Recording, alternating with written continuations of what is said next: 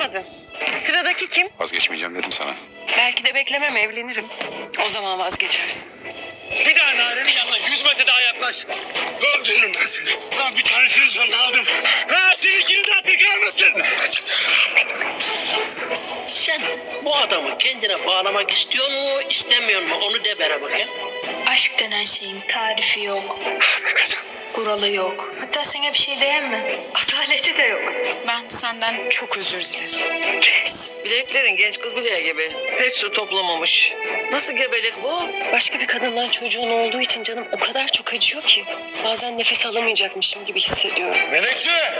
Seni öldüreceğim demiştim.